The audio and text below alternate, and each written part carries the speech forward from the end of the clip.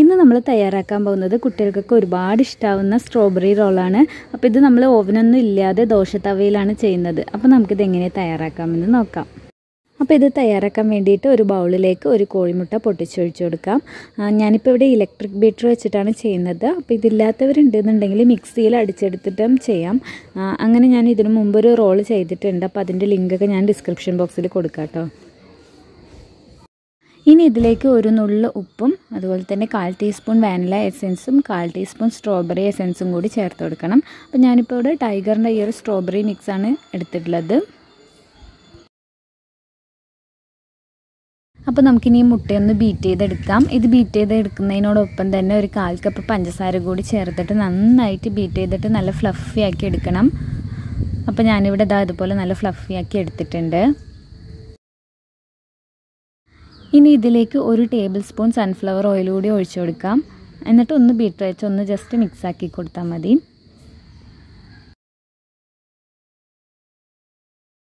അപ്പോൾ നമുക്കിനി ഇതിലേക്ക് പൊടികളൊക്കെ ചേർത്ത് കൊടുക്കാം. അപ്പോൾ ഇതിനായിട്ട് ഇതാ ഇതുപോലെ ഈ ബൗളിന്റെ മുകളിൽ ഒരു അരിപ്പ വെച്ചിട്ട് അതിലേക്ക് കാൽ കപ്പ് മൈദ ചേർത്ത് കൊടുക്കുന്നുണ്ട്.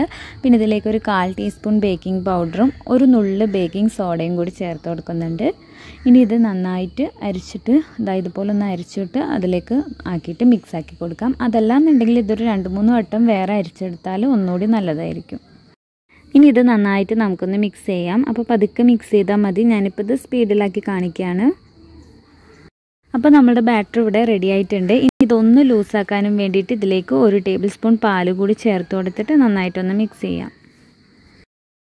അപ്പോൾ നമ്മൾ സ്ട്രോബെറി റോളല്ലേ തയ്യാറാക്കുന്നത്? അതുകൊണ്ട് തന്നെ സ്ട്രോബെറിയുടെ നല്ലൊരു ഫ്ലേവർ കിട്ടാൻ വേണ്ടിയിട്ട് ഇതിലേക്ക് ഒരു ടേബിൾ സ്പൂൺ സ്ട്രോബെറി ക്രഷ് കൂടി ചേർക്കാം. അപ്പോൾ നമ്മൾ ഈ ഒരു റോൾ ഉണ്ടാക്കാൻ വേണ്ടിയിട്ട് ഇതാ ഇതുപോലെ ഒരു ദോശത്തവ അടുപ്പിൽ വെച്ച് കൊടുത്തിട്ട് സിമ്മിൽ തീ ഇട്ട് കൊടുത്തിട്ടുണ്ട്. അതിന് ശേഷം ഓയിലൊന്ന് ബ്രഷ് ചെയ്ത് കൊടുത്തു കഴിഞ്ഞാൽ നമുക്ക് ഇതുപോലെ ബാറ്റർ മുഴുവനായിട്ട് അതിലേക്ക് ചേർത്ത് കൊടുക്കാം. അതിനുശേഷം സ്പാച്ചിലൊന്നും വെച്ചിട്ട് സ്പ്രെഡ് ചെയ്യേണ്ട. ജസ്റ്റ് നമ്മൾ ഒന്ന് ചുറ്റിച്ചു കൊടുത്താൽ മതി. തവയിൽ പിടിച്ചിട്ട് തന്നെ. അങ്ങനെ എല്ലാ ഭാഗത്തേക്കും ആക്കി കൊടുത്താൽ മതി. ഇതാ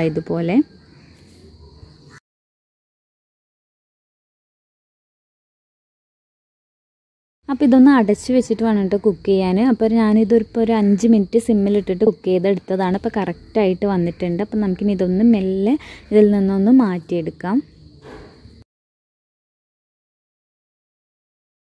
അപ്പോൾ ഞാനിതിപ്പോൾ ചൂടോടുകൂടി തന്നെ ഒരു ബട്ടർ പേപ്പറിലേക്ക് ഇട്ടിട്ടുണ്ട്. അപ്പോൾ നമ്മുടെ കേക്കിന്റെ അടിവശമാണ് ഇതുപോലെ കാണുന്ന ഭാഗത്ത് വെക്കേണ്ടത് കേട്ടോ അപ്പോഴാണ് നമ്മൾ കേക്ക് റോൾ കട്ട് ചെയ്യുമ്പോൾ നല്ല ഭംഗിയിൽ കിട്ടുള്ളൂ. അപ്പോൾ ദാ ഇതുപോലെ ഇനി ഇത് ഉള്ളിലേക്ക് ഇങ്ങനെ മടക്കി കൊടുത്തിട്ട് രണ്ട് സൈഡൊക്കെ ഒന്ന് ജസ്റ്റ് ചുറ്റിച്ച് കൊടുത്തിട്ട് നമുക്കിതൊരു പതിനഞ്ച് മിനിറ്റ് ഫ്രിഡ്ജിൽ വെക്കാം. ഫ്രീസറിലൊന്നും വെക്കണ്ട ഫ്രിഡ്ജിൽ തന്നെ ഒരു പതിനഞ്ച് മിനിറ്റ് വെച്ചാൽ മതി. അപ്പോൾ അത് നന്നായിട്ട് തന്നെ സെറ്റായിട്ട് കിട്ടും. അങ്ങനെ പതിനഞ്ച് മിനിറ്റ് ഫ്രിഡ്ജിൽ വെച്ചിട്ട് എടുത്തിട്ടുള്ളതാണ് ഇത്. അപ്പോൾ തുറക്കുമ്പോൾ നന്നായിട്ട് ശ്രദ്ധിക്കുക കണ്ടില്ല? നമ്മൾ കേക്കിന്റെ മുകൾ വശം അടിഭാഗത്തൊക്കെ ആയിട്ട് വെച്ച് കൊടുത്തിരിക്കുന്നതുകൊണ്ട് തന്നെ ഇതാ ഇതുപോലെ ഇങ്ങനെ ഒട്ടിപ്പിടിച്ചിരിക്കും. അപ്പോൾ നോക്കിയിട്ട് വേണം എടുക്കാനായിട്ട്. അപ്പോൾ ഇതിന് മുകളിൽ നമുക്കിനി വിപ്പിംഗ് ക്രീം വെച്ച് കൊടുക്കാം. ഞാൻ നേരത്തെ തന്നെ ഇവിടെ വിപ്പിംഗ് ക്രീം ബീറ്റ് ചെയ്തെടുത്തിട്ടുണ്ട്. അതിൽ സ്ട്രോബെറി എസൻസ് ഒന്നും ആഡ് ചെയ്തിട്ടില്ല കേട്ടോ. വേണമെന്നുണ്ടെങ്കിൽ നിങ്ങൾക്ക് സ്ട്രോബെറി ക്രഷോ എസൻസ് ഒക്കെ ആഡ് ചെയ്യാം. പക്ഷെ ഞാനൊന്നും ആഡ് ചെയ്തിട്ടില്ല. ജസ്റ്റ് ക്രീം മാത്രം ഇതുപോലെ നന്നായിട്ട് സ്പ്രെഡ് ചെയ്ത് കൊടുക്കുന്നുണ്ട്. അതിനുശേഷം സ്ട്രോബെറി ക്രഷ് കൂടി ആഡ് ചെയ്യുന്നുണ്ട് കേട്ടോ. അപ്പോൾ അതൊക്കെ ഓപ്ഷനിലാണ് ക്രഷ് കൂടി ആഡ് ചെയ്ത് കഴിഞ്ഞാൽ കുറച്ചുകൂടി നല്ല ടേസ്റ്റ് കിട്ടും.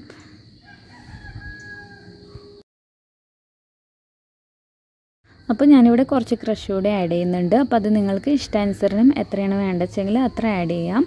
അത് ചേർത്ത് കഴിഞ്ഞാൽ ശരിക്കും സ്ട്രോബെറി റോളിന് നല്ല ടേസ്റ്റ് ആയിരിക്കും. ഇനി നമുക്കിത് പതുക്കെ ശ്രദ്ധിച്ചൊന്ന് റോൾ ചെയ്ത് വെക്കാം കേട്ടോ അതായത് ഇതുപോലെ ഒന്ന് ശ്രദ്ധിച്ചിട്ട് മുറിയാതെ റോൾ ചെയ്ത് വെക്കാം.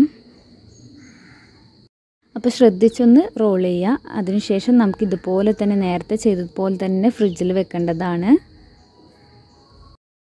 അപ്പോൾ ഞാനിതൊന്ന് ശ്രദ്ധിച്ചിപ്പോൾ റോൾ ചെയ്തെടുത്തിട്ടുണ്ട്. അതിനുശേഷം ആ ബട്ടർ പേപ്പർ വെച്ചിട്ട് തന്നെ ഒന്നങ്ങോട്ട് പൊതിഞ്ഞു കൊടുത്ത ശേഷം നമ്മൾ നേരത്തെ വെച്ചതുപോലെ തന്നെ ഒരു രണ്ട് മണിക്കൂർ ഫ്രിഡ്ജിൽ സെറ്റാവാൻ വെക്കാം.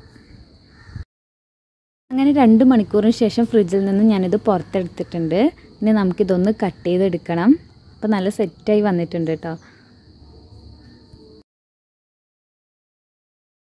അപ്പോൾ ഇതാ നമ്മുടെ സ്ട്രോബെറി റോൾ നമുക്കിനി ഒന്ന് ഈ രണ്ട് സൈഡ് കട്ട് ചെയ്ത് മാറ്റിയിട്ട് ബാക്കിയുള്ളതൊക്കെ ഒന്ന് നന്നായിട്ട് തന്നെ റോളായിട്ട് കട്ട് ചെയ്യാം. അപ്പോൾ നല്ല സോഫ്റ്റ് ആൻഡ് മോയിസ്റ്റ് ആയിട്ടുള്ള സ്ട്രോബെറി റോളാണ് നിങ്ങൾക്ക് കട്ട് ചെയ്ത് കാണുമ്പോൾ തന്നെ മനസ്സിലാവുന്നുണ്ടാവും.